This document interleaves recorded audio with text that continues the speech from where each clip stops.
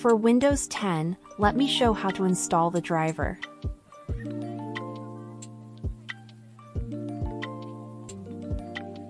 First of all deactive or uninstall the antivirus. The printer should be turned on and connected with our computer. And double-click the driver.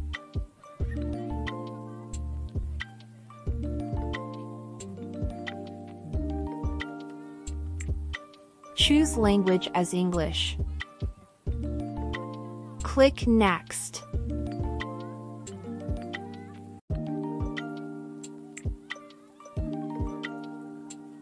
Click Finish.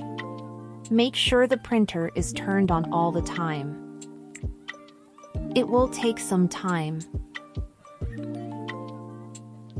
Printer driver installs successfully.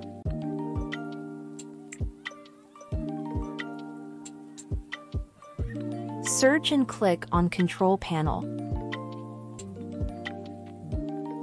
Find Hardware and Sound and click Devices and Printers. Now we can see the driver installed already. Right-click driver and choose Printer Properties. To print a test page.